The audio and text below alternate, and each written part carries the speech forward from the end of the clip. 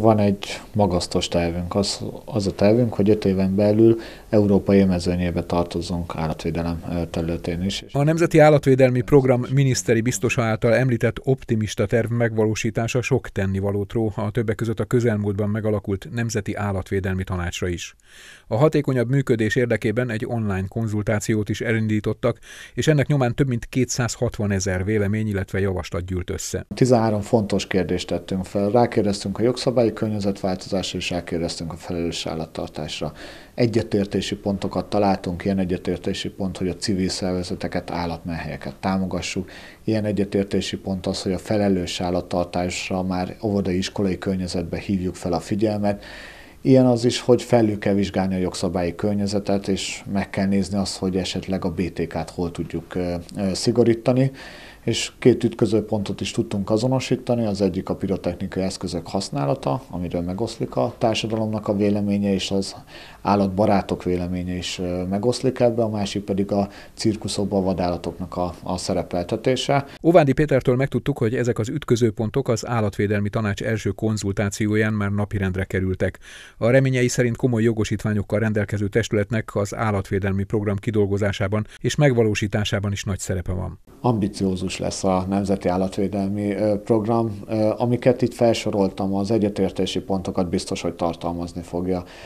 De ebben mondhatom ugye, hogy civil szervezeteket támogassuk, állatmelyhelyeket, az ebrendészeti telepeket felül kell vizsgálni, illetve meg kell néznünk azt, hogy hogyan tudjuk őket támogatni, de a felelős állattartásra hogyan hívjuk fel a figyelmet, a szankciókat át kell vizsgálnunk, ahogy, ahogy mondtam de itt teljesen uh, konkrét esetig le kell menni, hogy mi lesz például egy állatviadalról lefoglalt uh, kutyának a, a sorsa, illetve a szaporítóktól elvett kutyáknak mi lesz a sorsa. A miniszteri biztos úgy véli, az érdemi munkához megfelelő pénzügyi hátteret is tudnak biztosítani. A civil szervezetek erőn felül teljesítenek állatvédelem területén, és ahogy már elkezdődött a munka, ugye be tudtunk már jelenteni Gyopáros Alpák kormánybiztos úrra egy ivartanítási programot, ahol amikor országot jártam, illetve a civil szervezetekkel, amikor tárgyaltam, akkor mindig ez volt az első lépcső, hogy ivartanítani, ivartanítani, ivartanítani.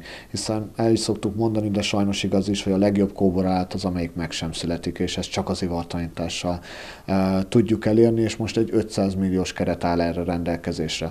De említhetném hogy már tettünk lépést ugye a felelős állattartás tekintetében is, hiszen összelindul a Nébiknek egy olyan online képzése, ami a gazdajogsi.hu-n lesz majd elérhető, és ez egy nagyon fontos lépés, hiszen a felelős állattartáshoz hozzátartozik az, hogy ismeretekkel legyünk felvértezve, és azt tudjuk azt, hogy az állatunknak mire van szüksége. Ovádi Péter a legfontosabb célcsoportnak tartja a gyerekeket, akiken keresztül a szülők is informálhatók és befolyásolhatók. Éppen ezért az oktatási programba is szeretnék beépíteni a felelős állattartáshoz kapcsolódó ismereteket. Országszerte szorosabbra fűznék a civil szervezetek és a rendőrség, pontosabban az állatvédelmi rendőrség munkatársainak együttműködését is.